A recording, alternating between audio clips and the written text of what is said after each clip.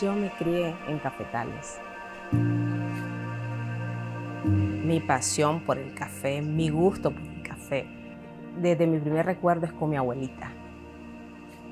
Ella me enseñó que el café es sagrado, que el café eh, se disfruta, que se debe tomar para mejorar tu día. Te levanta el espíritu, decía ella. Ella adoraba hacer lo que hacía.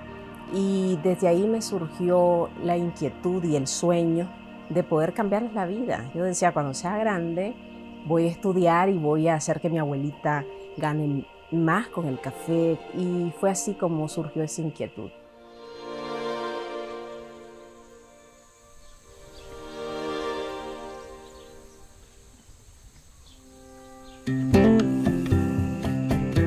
La finca Coffee fue fundada por mi esposo y yo, de manera que lográramos un cambio positivo, no solo en la vida de las personas que trabajan con nosotros, sino también en nuestras comunidades y en el medio ambiente.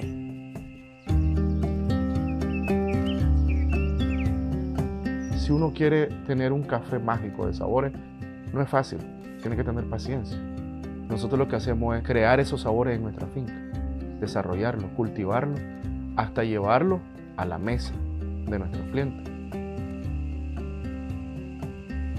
Hemos logrado eh, mejorar la calidad de vida de toda la cadena de valor.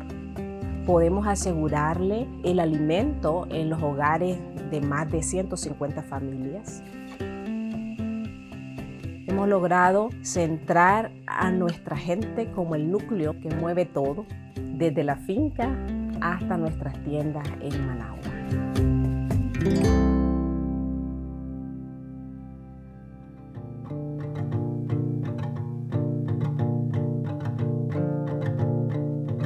Trabajar acá es, es sinónimo de familia.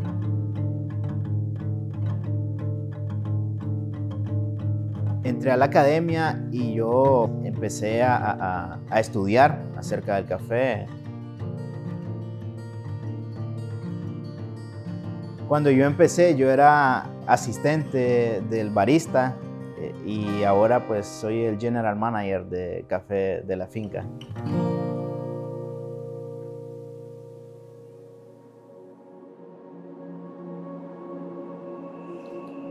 Yo no esto para mí, yo esto para mi cliente. ¿Y cómo le gusta el café a mi cliente? Yo diseño un tueste para eso en cada grano va mi sello, va mi nombre, va de la finca. Y esos granos llegan a tantos lugares, a la intimidad del hogar, de la familia, al compartirlo. Y ahí estamos nosotros. Mi abuela siempre decía, haz el bien y no mires a quién. Y eso se me ha quedado grabado.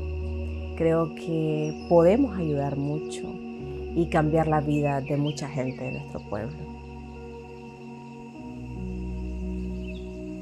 La experiencia que hemos tenido con De la Finca Coffee demuestra lo que me enseñaron desde muy pequeña, que el límite es el cielo. Con trabajo duro todo se puede lograr.